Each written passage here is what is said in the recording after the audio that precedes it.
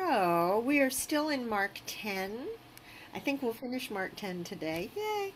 Um, and it's it's good because then next week we can really turn toward Jerusalem um, and the beginning of the end, as it were. Um, so just I wanted to look back for a second, as we usually do, to last week when um, you remember we talked about the, the great story about it's easier for a rich man to pass through it's easier for a, a, camel to pass through the eye of a needle than for a rich person to enter the kingdom of god. And to which peter responds you know look we've left everything and followed you. You know what more do you want? Um, does anyone want to comment or is there anything left over from last week's conversation that we need to revisit?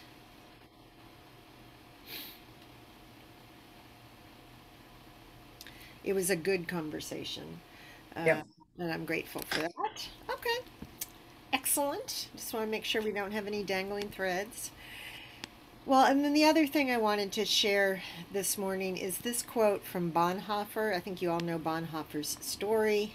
Um, martyred uh, in April of 1945. Uh, he was a member of the Confessing Church, had come in Germany, Lutheran pastor, had come over to this country, was teaching at Union Seminary in New York City, and felt as though he needed to go back to Germany, and he lost his life as a result of that. Um, but this is from his uh, seminal book, The Cost of Discipleship. He writes Cheap grace is grace without discipleship, grace without the cross, grace without Jesus Christ living and incarnate. And as we've been talking about in Mark's gospel, you know, the disciples are trying to figure out what it means to follow Jesus. What does it mean that we've left everything and followed you? And um, we'll talk about that as we finish up Mark 10 today, in particular. Uh, the disciples' view of what they should have, what should be coming to them, and what true discipleship looks like um, according to Mark's gospel and according to Jesus's requirement for his followers. So, um, last thing I'll say is that earlier in uh, Mark 10, Jesus was, it said that he was in Judea and across the Jordan, so down in this area, most likely. There's Jericho, this is the Dead Sea, uh, there's the Jordan. And today he's going to begin making his way toward Jerusalem. Um, and I just wanted to share also a photo with you that I took of the this area uh, three years ago when we were there, just to give a sense of the landscape for those who have not been there. Um, so keep that in the back of your mind as you're thinking about them making their way toward Jerusalem. It's not an easy trajectory at all. All right. And so,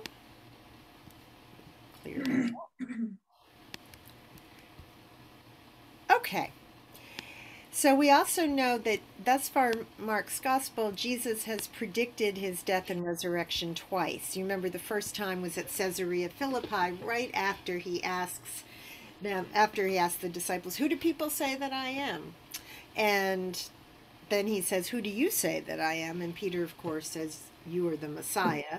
And Jesus um, tells him, Get behind me, Satan. Um, so this is now the third time that Jesus is going to tell the disciples what is to come. Would somebody like to read? I'm thinking, yeah, if, if we could read these three paragraphs as a unit, I know that's a chunk, but they kind of hang together. That would be great. Would somebody be willing to read those out loud for us?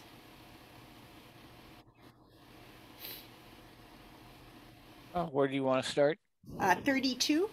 Okay. Do 32 through 45. Okay. Thank you.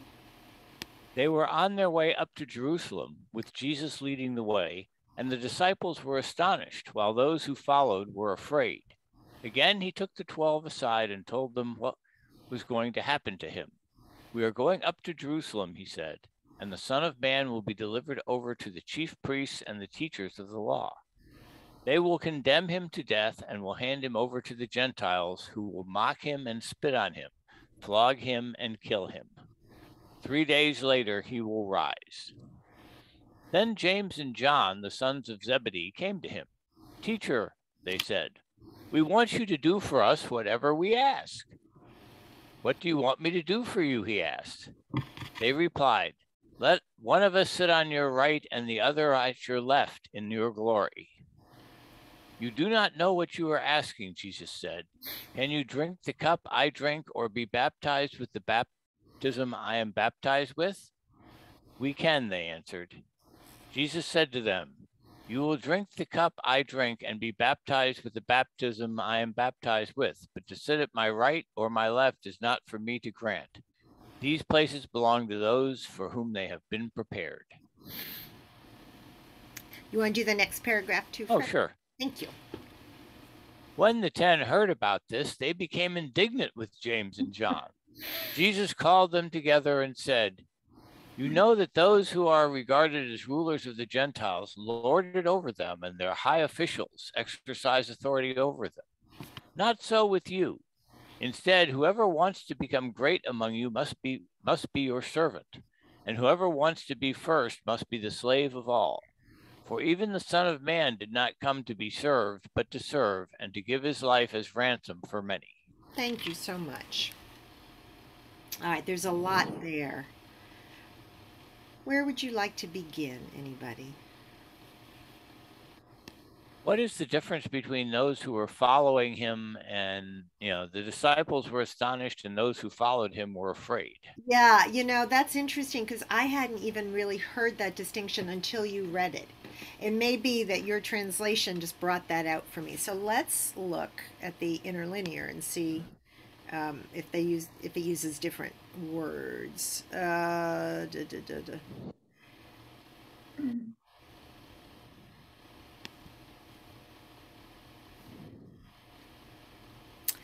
So those who follow, it's a root that it's the same root that from which we get acolyte. Acolytes are those who follow behind.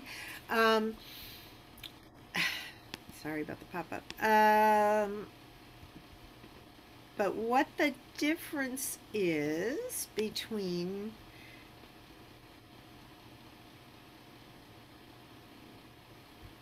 the disciples and those who followed, uh, unless that simply marks reiteration. You know, it's it could be for poetic effect. Um, yeah, they were amazed, and those who followed were afraid. What do you all think? I would reverse the two.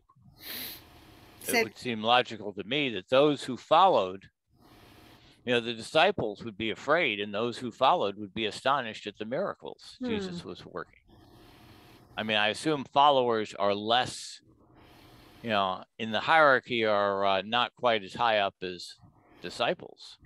Well, that see, that's what I'm not sure about is who exactly is present here, and it's unclear. I think. Does anyone he, have other thoughts about that? Because is there, you know, an outer ring of people following, or is this just the disciples, and is this just mark yeah. reiteration. That's what I'm not clear about. That, that's what I see it as they uh, the one and the same group being following and being afraid. The, amazed, and, gospel, amazed and afraid. Sorry. Mm. The gospel parallels make it very clear it's the 12. Yeah. You know, all of that is left out and just says Jesus takes took the 12 aside. I it may be that the other gospelers decided that was too ambiguous and they wanted to mm. it up. Mm-hmm. Um, I'm just looking to see if Amy Jill Levine says anything. Um, see, I yeah, she goes. She doesn't specifically say who's traveling with him, but looking at the context. So, going back. Um, so we had the encounter with the rich man. So certainly as they were traveling, other people came along and approached Jesus. but it doesn't mention that there is a crowd that I can see. So it may just be Mark's way of phrasing it, um, as Elin said, the one in the same group. But it is confusing, I think. And again, I hadn't even picked up on that. So so this is why I love when people use different translations because it brings out nuances that we don't necessarily notice if we're all looking at the same version. Um, so let's, okay, for the sake of argument, we can say, imagine that it is Jesus and the 12 walking. Um, they were amazed and they were afraid. What are they afraid of? Going to happen to Jesus and what's going to happen to them. But that sort of only get, gets expressed later on. well,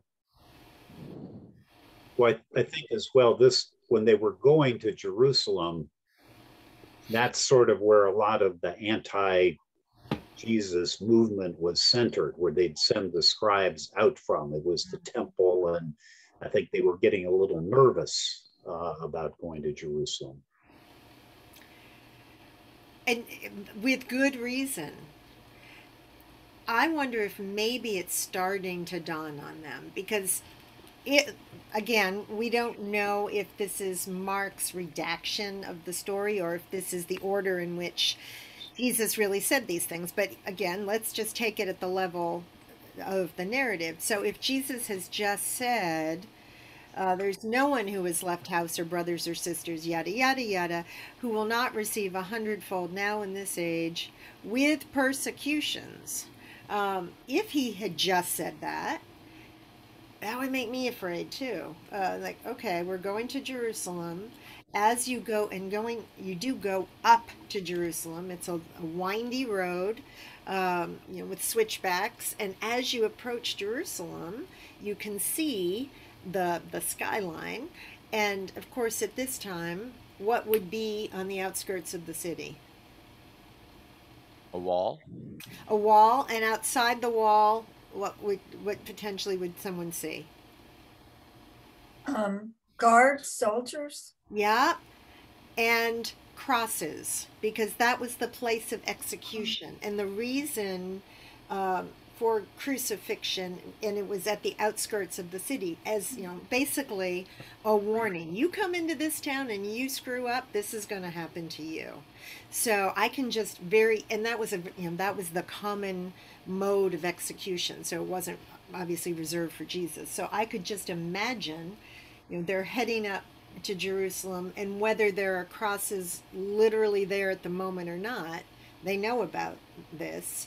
There's, you know, as John said, you know, this is where the anti-Jesus movement is fomenting. Um, so there's a lot to be afraid of. And they still, you know, who knows? Maybe they're starting to get it. Maybe they still haven't. But there's something about going to Jerusalem about which they have anxiety. That's walking into the lion's den. Amen. Exactly. Regardless of what you, uh, you know, I, I often think Jesus and Socrates had the same experience.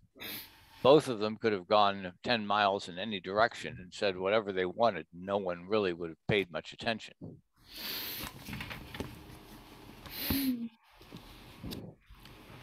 But here they are, as you say, walking into the thick of things, into the very place of persecution. Okay. And then, so Mark tells us that they're amazed. I wonder what they're amazed about. Um, and then he takes the 12, Jesus takes the 12 aside and tells them again what is going to happen to him. What does this bring up for you all? What thoughts do you have? Um, well, it occurs to me that um, he's speaking in a third person. He doesn't say I, which is, mm-hmm. I don't know, that's something to think about.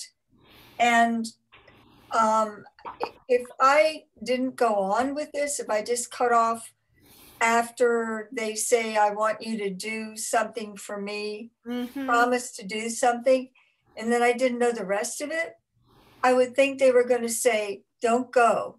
turn around.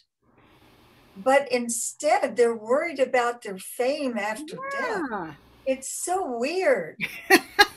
I, that's a great way to, to you know to contextualize it because you're right. You know, it could be you know do us a, you know do something for us, Jesus. We love you. We're devoted to you. Don't go there. You know, Yeah. you told us what's going to happen. Turn around. Um, but that's not at all what they say. Oh. Uh, Where else have we seen James and John? mm. Well, when they were rec- recruited, so to speak. Yep. Yep. So, you know, Jesus calls Peter and Andrew, that set of brothers, and he calls James and John. Yep. Where else have they been? Hmm.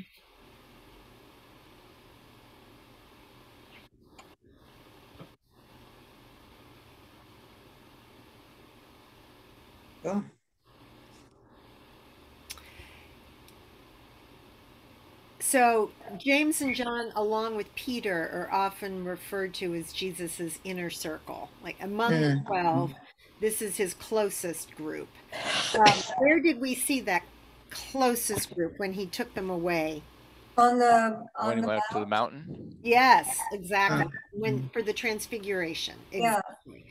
So James and John have seen the glory that has been revealed in the transfiguration, right?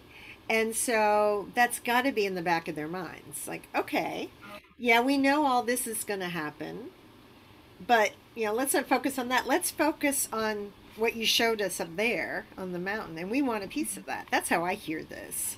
Uh, very human, but you're right, very weird too.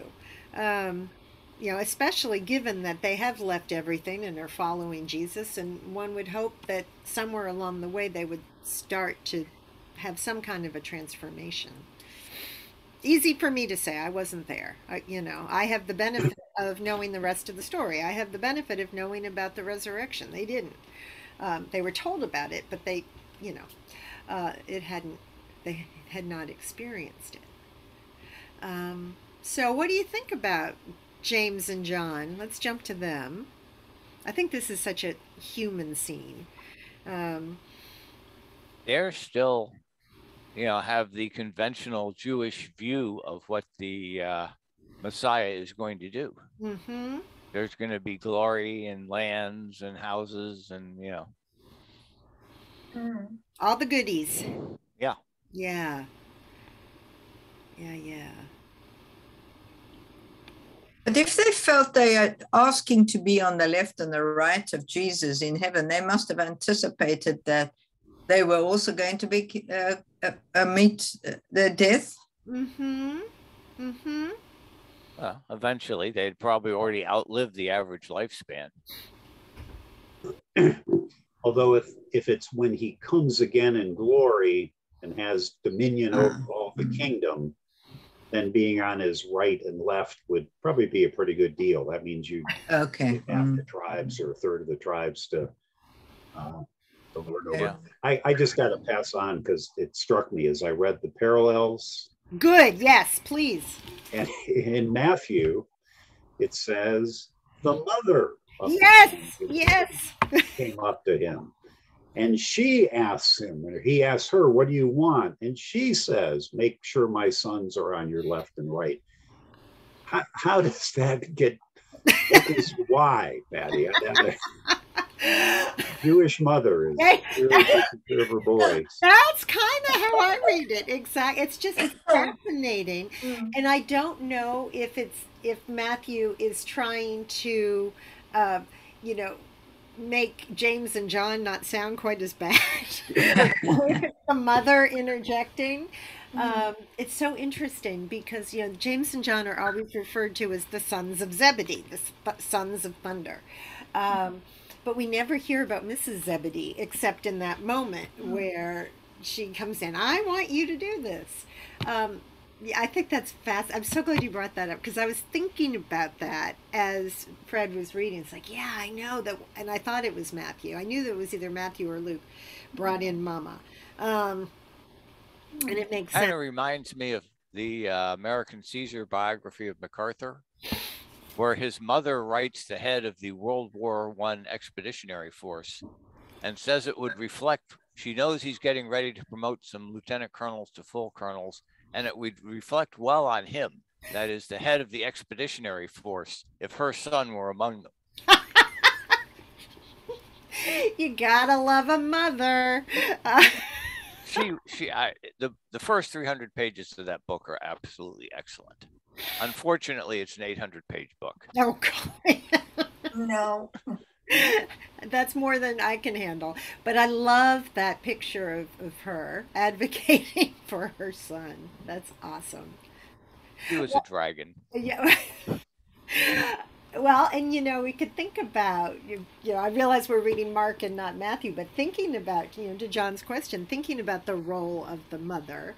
Um, yeah, you know, she wants to position her boys appropriately. And um, so that's that's fascinating to me. So, but who says to somebody, "We want you to do for us whatever we ask of you"? Who the heck are they? Wow, how entitled is that? Right? Well, you can in Matthew, you can really see where they get their chutzpah. exactly, they come by it naturally. Yes. Well, although I guess Pat, you point they are the inner circle, hmm but for Peter, they are, you know, they're the the ones who Yep. would be the logical ones that. Uh, Mm.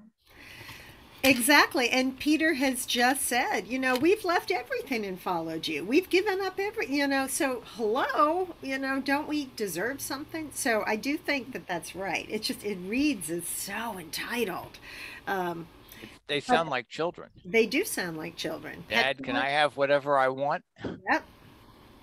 Well, and if we think about you know the the parable that we all know so well of the the prodigal son, right? It's the same kind of thing. You know, the the younger son comes and says, "I want my inheritance now. Give it to me." It's like, whoa. Um, it's you know not dissimilar that kind of um that sense of entitlement and wanting you know quid pro quo. We have given everything up you know we've we've been with you all this time. Now we want you to do for us whatever we ask. Mhm. and it's interesting that jesus says what is it you want me to do for you? I say it's interesting because earlier in mark's gospel you know they're arguing with, with each other along the way and jesus isn't standing right with them but he knows you know he perceives what it is that they're you know he perceives that they're arguing. Uh, so we can assume that Jesus has a pretty good idea of what it is that they're going to ask. Um, I think it's a safe assumption. But he makes them name it. What is it that you want me to do for you? And what do you think about his response? You don't know what you're asking. Are you able to drink the cup that I drink? Or be baptized with the baptism that I am baptized with. Now, Donna, that's terrible English, right? But we get the message. Um, so, what what is Jesus saying there?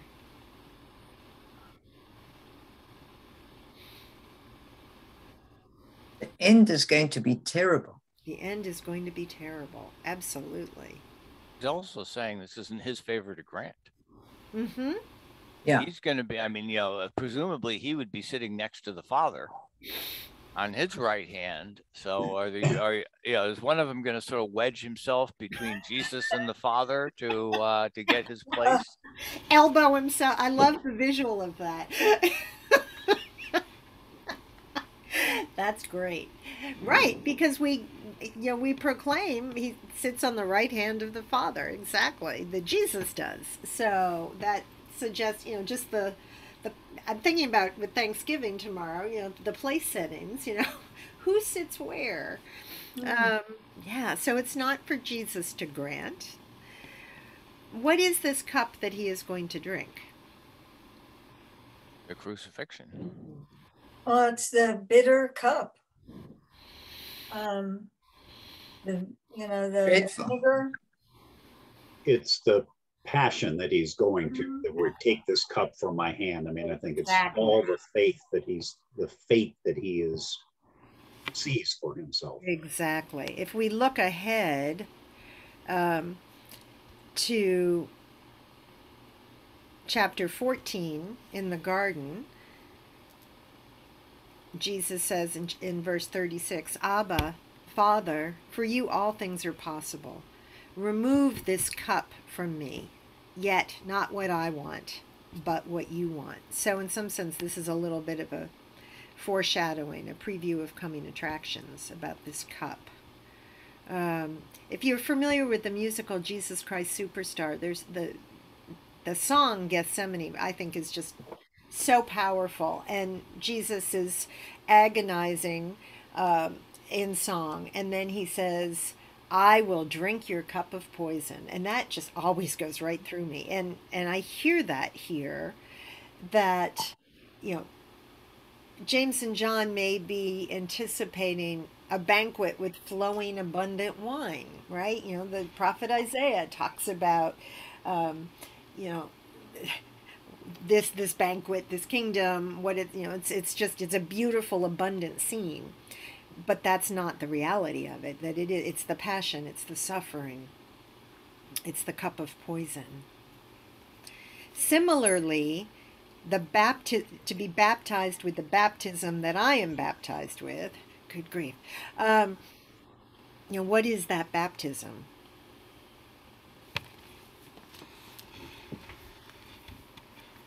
My study Bible suggests that it could be the death that, that he is talking about. Exactly. Yeah. Mm. Exactly. And even now, as Christians, our baptismal liturgy talks about being baptized into the death of Christ. And that language comes from St. Paul. Um, but, and even if we think about baptism as it is meant to be performed, where one is literally pushed under the water and held and then comes up gasping, you know, again, we domesticate it in the Episcopal Church and in other denominations, we're not the only ones, you know, with just polite little dabs of water in the forehead. Um, but it, you know, that the imagery really is about plunging down into death and then rising to new life. But they don't get that, and perhaps they can't get it yet. Again, it's easy for me to say. I have the benefit of having read the rest. of it. Hindsight. Mhm. Yep, exactly. Exactly. But notice what they say. They say, We are able, we can do this. Well, Mark had the benefit of hindsight also. He wasn't writing it till around the 60s. Mm -hmm. Oh, yeah. But he's writing about, he's telling the story as it unfolded at the time. So the fact that he's, you know, they, the disciples say, We can do this, we're able. It's like, okay. You know, it, it, it's sort of fitting with the portrait of the disciples that's painted in Mark's gospel that, you know, they're always, you know, they think that they know more than they do, which is a dangerous combination. Um, it, it, I'm just remembering that uh, at the baptism, um, there was a voice from above that says, You are my son, with whom I am well pleased. Mhm. And uh, it doesn't seem likely that there are going to be uh, lots of sons. He is the, the one. Mhm. And then he says that it's, I can't grant that type of thing, like sitting on the left and the right. Um, but it's for those for whom it's been prepared. He seems that he is subservient to God the Father. Mm-hmm. Mm-hmm. Beautiful. Yeah, and you're absolutely Donna, and it does echo back to that open because of course in Mark's gospel it begins with John the Baptist. It begins with Jesus coming down to the Jordan and that moment where you know we sort of get the the the Trinity uh, at a very rudimentary level because we have Jesus, the person, the man. We hear the voice of God the Father, and then the dove descends, indicating the Holy Spirit. So that's one of those moments where you get you know, the fullness of the Trinity. And here it's kind of hinted at as well. As you say, it's not explicit, but you know, I'm not, it's not, I can't grant that you know, that is for the Father to grant. Absolutely. which in Matthew gets added in specifically. Mm-hmm. Exactly. It has been prepared by the Father. Mm. It's just it's so interesting, and and I'm really I've said this before. I'm really glad that you're reading along with the gospel parallels, John, because it's, it's because we're pretty sure that Mark's of the four canonical gospels, um, Mark's was the first to be written. It's just so interesting to see you know how the other gospelers riff particularly matthew because his gospel is so long and he adds so much detail. Um, and he takes the bare bones of mark and fills in some gaps. And it's, it's just very interesting to think about why he does that and why mark might not do that anything else about the request itself before we re- look at this last paragraph again? Um, I think that they must somehow not be aware because when they say I am able, um, but they've just heard about the flogging and the death. for Um, the third time. Yeah, it just seems like they're not getting it somehow, or else they couldn't speak up so glibly and say, "Okay, yeah, I can do it." Yep. Yep. Alternatively, they've got a very deep commitment to Christ. Mm. I think that that is their intention for sure, their aspiration. Um, again, you know, they wouldn't have given up everything and followed along all this time unless there were some, you know, profound affiliation, affection, respect, admiration, worship. Um, and yet, even at that, it's as though they're just seeing the surface and can't understand the fullness of it. Now, we also have to remember that every time Jesus turns around in Mark's gospel, he's always saying, you know, if someone's healed or there's an exorcism, don't tell anybody, you know. So, at some level, I want to say, Jesus, what do you expect that they don't get it? You know, you're kind of sending mixed messages. Um, so there's always this tension because the disciples are supposed to be the ones who understand. Jesus, you know, when he explains the parables, he doesn't explain them to the larger crowd, he explains them to the disciples. They should get it, and yet, even for them, it's difficult. Um, I mean, they left everything and followed Jesus, but you know, according to the narrative, it didn't really. You know, Jesus said, "Come," and they came. They left. mm-hmm. Not a. Uh, you know, there wasn't time to build a profound commitment. And I'm remembering Jesus's parable of the sower. Mm-hmm. Does Jesus really know that you know this has taken deep root, and you know, or are they like ones that hear the word and follow along, and then the sun comes up and and blisters it, and they die? That's great, Fred, because remember, we all need to remember that Mark kind of sets that parable up as a framework for interpretation in the gospel. So I'm really glad you went back to that. So, no, there isn't in that split second. There isn't time for you know a lot of analysis and discernment. However, the fact you know they've kind of voted with their feet because they're still with them. You know they could be like the rich young man who turns around and goes home at some point, but there's got to be something in it for them. Uh, maybe it's a sense of adventure, or you know they've come this far, they're committed. Who knows? But they're still with him, and you know we're getting ready. You know he's on the way to Jerusalem, so we could imagine that it's been three years now, ish. So you know, they've been at this for a while. Um, If they still don't get it, yeah, exactly. So that's which is you know, I think that that is a message. I take it as a message for myself that you know when I think I get it, oh yeah, I can do this. There's still so much I don't understand, and I think that's true for all of us that we might set our hearts upon something and think that we're being faithful and think that we are fully engaged, and yet we don't have a clue of what it really means. Um, and that's just the way it is. It's not. I don't think that's a judgment per se. I think that's that's the reality. that we can't fully understand. And there is some arrogance when we think we do, I guess. You can't know you can do something until you've done it. Right, precisely. I was talking to somebody the other day about, you know, some of my bike rides and, Mm, you know, I want to know that I can still go out and do it. But you, if you don't try, But the only know. way I can know that is to actually go out and, you know, ride that distance. Then And- I can come back and for a short period of time I can say I know I can do it. Yeah. And and inherent in that is, you know, you're taking a risk because you don't setting out you don't know for sure you can do it. And you're willing to to take that chance of not being able to do it. That's great. Yeah. What interests me here in verse 41, when the ten heard this, they began to be angry with James and John, which implies to me that Peter is one of those who's angry. Even though he's part of the, the inner circle too, he's now separating himself from James and John. Like, what are you doing? Um, and so Jesus calls them all together. You know that among the Gentiles, those whom they recognize as their rulers lord it over them.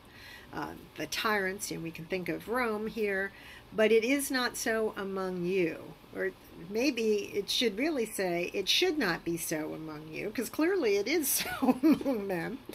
Um, whoever wishes to become great must be your servant. Whoever wishes to be first must be slave of all. Um, that's familiar language for us. Thoughts on that, or observations, or wonderings?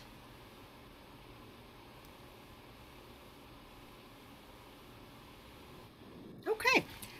Well, let's move on to the last story in chapter 10. And I think we'll stop after that so that we can gather everyone for chapter 11 next week. Um, this is a this is a great story. Okay, would somebody read the healing of blind Bartimaeus for us?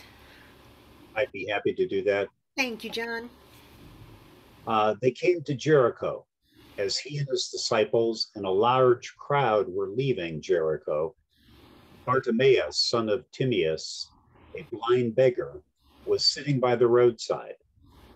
When he heard it was Jesus of Nazareth, he began to shout out and say, Jesus, son of David, have mercy on me. Many sternly ordered him to be quiet, but he cried out even more loudly, Son of David, have mercy on me. Jesus stood still and said, Call him here. And they called the blind man, saying to him, Take heart, get up, he is calling you. So throwing off his cloak, he sprang up and came to Jesus. Then Jesus said to him, What do you want me to do for you? The blind man said to him, My teacher, let me see again. Jesus said to him, Go, your faith has made you well. Immediately he regained his sight and followed him on the way. Thank you, John. So let me just very quickly go back to the map. So they have been here, sort of in the wilderness of Judea across the Jordan River, and now they're in Jericho. And then from there, they will make their way up to Jerusalem. So Jericho is right by the Dead Sea, and it's you know, one of the lowest places on earth, which I just think is helpful to set the site as they are making their way up. Uh, and this is where this story takes place, is along the way. So, what do you notice here or wonder about?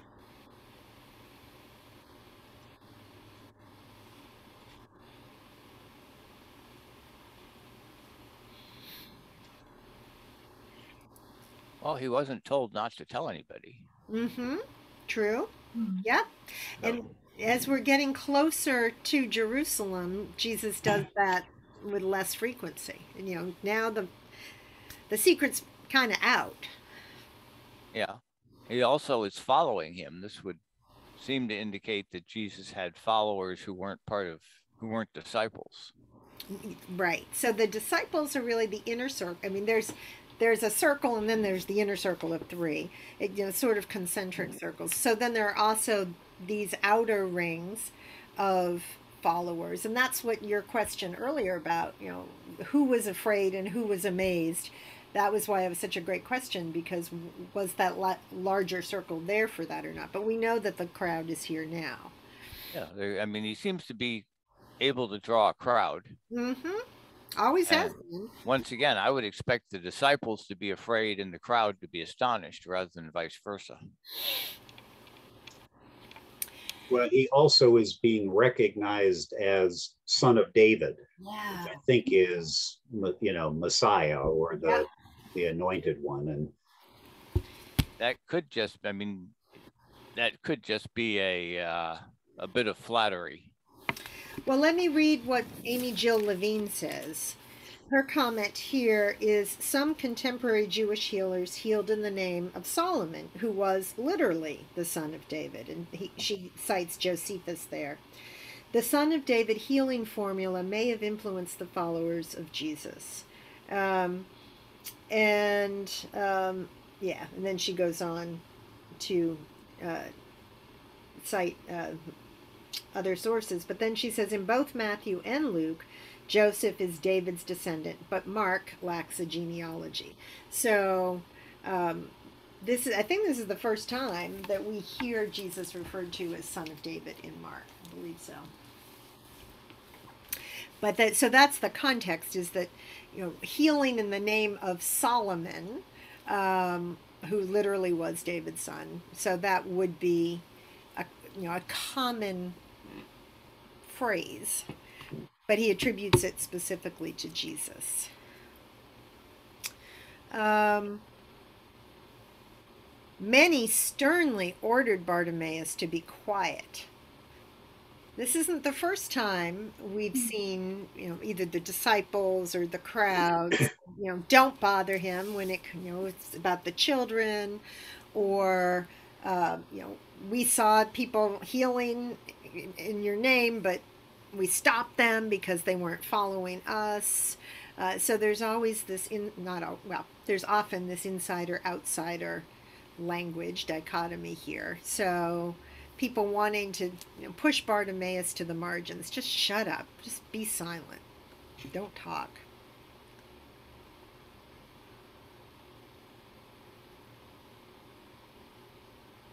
What else do you observe in this story? Uh, the attribution of faith as um, the condition for healing. Mm-hmm. Mm-hmm.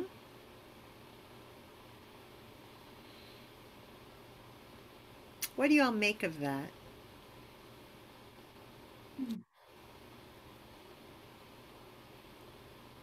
It has kind of the same flavor as a uh, prophet is without honor in his own land. Can you say more is- about that? Well, faith. Jesus is saying faith is required when he heals. You know, when he brings the little girl back. Mm-hmm. You know, he says, you know, do you believe? If you believe, all is possible. If you're, if you don't believe, you know, there's nothing I can do for you. Mm. And to a certain extent, it plays into the same theme as the rich young man. The rich young man had would have to believe. Mm-hmm. You know, he would have to accept the fact that the way to heaven is to shed your earthly entanglements. So, in order to make that kind of transformation, he would have to believe, right? He wouldn't. He wouldn't be able to do that. Well, you wouldn't do it if you didn't believe. Exactly. So, It'd be yeah. It wouldn't. It wouldn't make any sense. hmm it seems like there have to be two act. You can't just say, Jesus, fix me. Mhm. You know, it takes more than that. You gotta, you have to have the belief, the faith that it can be done. Beautiful. Do you hear any language here that echoes the previous story about James and John? Oh,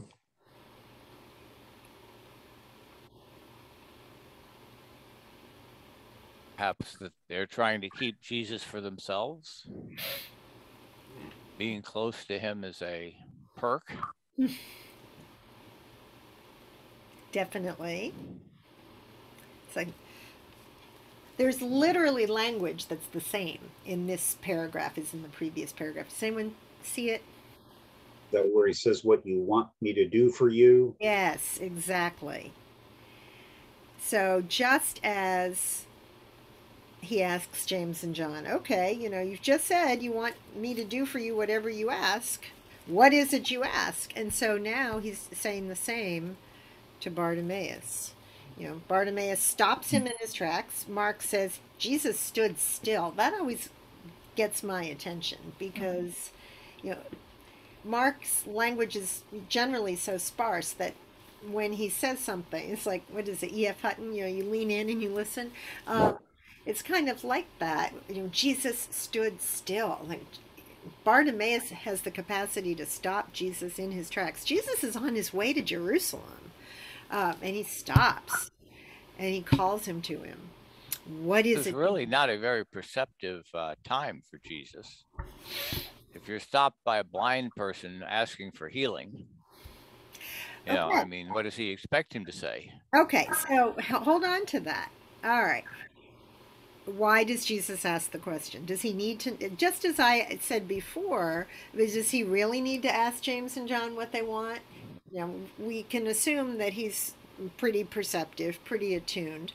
Does he need to ask this blind man? I'm glad you said that. Does he need to ask Bartimaeus what he wants? I would No. hope not. So why does he ask the question then? I think to see his state of faith and he becomes, um, he's converted from being a blind beggar at the side of the road to a follower. Ah, beautiful. And it hinges on claiming what he wants, right? You know, Jesus makes him say it. There are other times where Jesus doesn't do that, where he just you know, automatically leans in and and performs the healing. Or there are times when the crowd brings a person to him. But here, he wants the blind man to own it, to name it. You know, like, what do you think I want? I want a million shekels. Of course, I want to see. Um, so I'm so glad you said that, Fred, because you know I think it's a rhetorical device. You're like, okay, tell me. Well, he could have said, "I'd like my family, since I can no longer support them, to hmm you know, to have to get something." Sure, absolutely. But I think there's something pivotal in requesting that Bartimaeus name for himself what it is. And I think that's tied into that final sentence your faith has made you well. Um, that in order to ask the question, he has to believe that Jesus has the capacity to do that. To, to going back to what Donna said about Bartimaeus being converted or you know transformed from a beggar on the side of the road whom the crowd is trying to silence, you know, verse 50, um, throwing off his cloak. Yeah, it's just again that's an interesting image. You know, here he is. We can imagine. Unfortunately, we have all seen too many times homeless folk down. You know, I was driving through Foggy Bottom the other day, and, and the tents are everywhere, right? And people on the side of the road, and you know, with their blankets, with their jackets, with their coats. It's all they have protecting them. And Bartimaeus throws it off, springs up. You know, it's just it's such a vital image, and and comes to Jesus. So, know, I, just think it would. To, I you use that word converted, Donna, and I think it's absolutely there, in that verse fifty. That motion. That okay, I'm. You know, this is all I had, and I'm going to throw it off, and put all my eggs in the Jesus basket right now.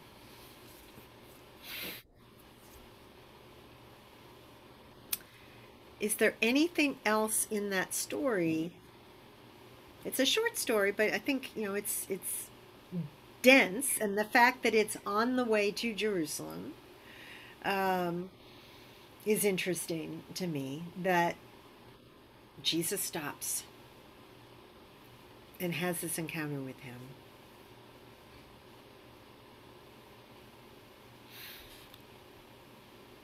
And I'll throw out one thing from the parallels. In Matthew, it's two blind beggars. Ah, Oh, get healed. Uh, same story, but with two of them. So, Mm-hmm. Oh, And we could ask ourselves, why would Matthew double the, the people? I'm sure there were plenty of people on the roadside. I'm quite sure, Miracles. Mm. quite sure. There are also lots of stories. Mm-hmm. You know, they might have taken a different story and felt like it was more Yeah. impressive with two. And and exactly. Sometimes doubling in the Bible is meant to, you know, literally be an intensification to, you know, as if you were underlining or bolding, um, you know, the importance of that moment. Yep.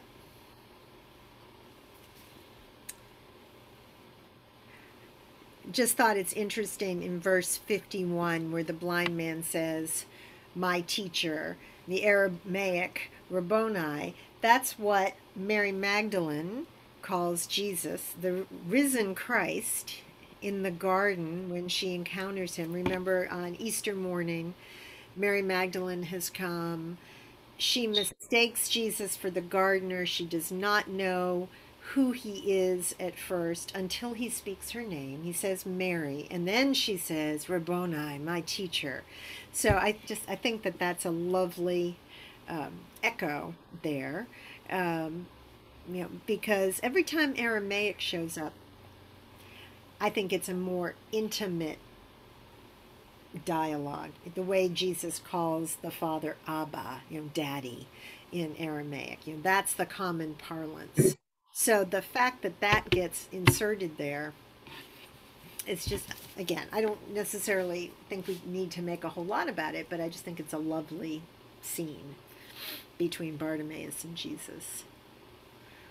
Let me see again. And that's the other interesting thing too. As opposed to the man born blind in John's gospel, we talked a lot about him. Clearly, Bartimaeus used to see, and for whatever reason, he's lost his vision, and now that vision is restored. And I think that there's meant to be some echoing of um, the other blind man, remember, whom Jesus heals. Remember, if Ellie were with us, she would say, Well, it didn't quite take the first time. It was one of those two stage miracles where the man, where Jesus, uh, you know, starts to heal the man and he says, Well, I can see people, but they look like trees walking. Um, and then it takes a second time. You know, I think uh, Mark is revisiting that theme of healing of the blind. although there are marked contrasts with this one because the first guy was brought to him, didn't ask for anything. Uh, Exactly. It was a demonstration. This is a guy who asked and had faith. Exactly. That guy, if I remember, he said, "Don't even go back to the village. You know, Mhm. don't tell anybody." While I think Fred pointed out here, "Hey, follow me." Yep, exactly. Times have changed. Exactly. Exactly. So what starts out as, you know, the the word is kept, you know, so such a secret, that messianic secret that we talked about at the beginning of Mark's gospel. Gradually it's revealed more and more the closer we get to the crucifixion, the passion and the crucifixion and resurrection. All right. So, just looking back, a lot happened in chapter 10. So, we started out with that teaching about divorce we talked about two weeks ago, the little children, the rich man. And then now he has turned and he's on his way from Jericho up to Jerusalem. So, next week we begin. Uh, it's the beginning of the end. And it still will take six chapters to get to the end. Um, but this is where we turn. In Luke's gospel, uh, to give a little preview of gospel parallels, in Luke's gospel, Luke literally says, it's the midpoint in the gospel, Jesus set his face toward Jerusalem. And you, know, you can sort of imagine him in profile looking up toward Jerusalem. Mark doesn't say it quite that explicitly, but that's essentially what's happened. This is the turning point. So we'll pick up there next week. Okay. All right, everybody, thank you. As always, a robust discussion, and I look forward to seeing some of you on Sunday, maybe all of you on Sunday, and I'll see you next Wednesday as we do chapter 11. Happy Thanksgiving, everybody. Happy Thanksgiving to everybody. Thank you, Patty. Patty. I hope your trip to the Bay is traffic free tomorrow. Don. I know it won't be, but it's aspirational. That's my hope. All right. Bye, everybody. Bye. Bye. Bye. Bye.